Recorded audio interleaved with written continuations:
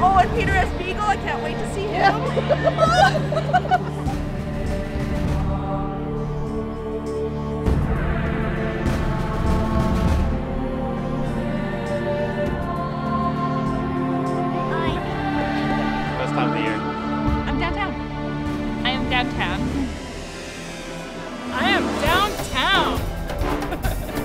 We are downtown. we are downtown.